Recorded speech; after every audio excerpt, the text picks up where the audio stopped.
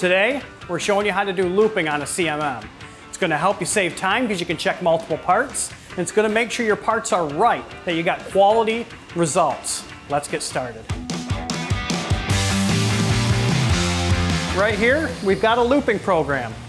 I've set it up to loop four times, and we're throwing away that first result. Why do we throw it away? It's a practice lap. The machine's warming up. We wanna make sure that it's getting good results. So the first time around, which it's in the middle of right now, we're gonna take that result and just throw it out. Then we're gonna run it three more times. We're gonna get all the results on here. We're gonna make sure the machine is repeating the same check over and over and that the results are good. The benefit to checking the same part over and over is that you know your results are repeatable. If you check it once, you might just be getting lucky. But if you check it numerous times and compare those results to each other, then you know it's a good part. No question about it. All right, scan's complete. Now we get the results. Just want to make sure each time it measured it, that the results it got are within a couple tenths of each other. Then we know we're getting good results and we're running good parts. All right, we measured three thou and three tenths here, two and two, two thou and two tenths, two thou and two tenths.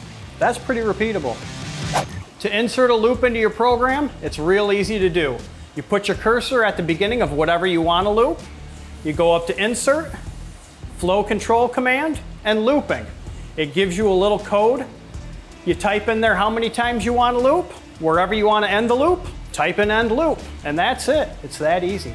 Looping can also be used to check multiple part sets at one time, which saves you time.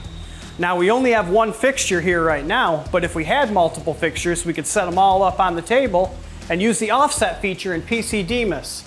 You can set one inch, two inches, however many inches you want, display them on the table like that, and check them all at one time, and the program knows to go in between each one of those parts and give you multiple results. So that's looping. If you got that one customer that's always got those really tight tolerances, add looping to your program going to give you good results. It's going to make sure your results are right. Make sure you like and subscribe if you like this video. We got lots more. And you know, every, every great YouTuber, they have an iconic sign-off line.